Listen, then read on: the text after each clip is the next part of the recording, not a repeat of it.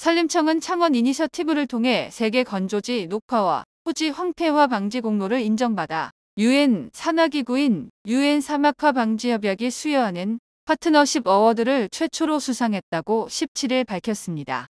남성현 산림청장은 창원 이니셔티브는 지난 10년간 아프리카를 비롯한 개발도상국에서 토지 황폐화를 막고 한국의 위상을 높이는 데 큰 역할을 했다라며 이번 파트너십 어워드는 사막화와 토지 황폐화 방지를 위해 한국이 지원한 성과를 유엔으로부터 인정받은 것으로 앞으로도 산림청은 녹색 공적 개발 원조의 선도적 역할을 수행하고 글로벌 중추국가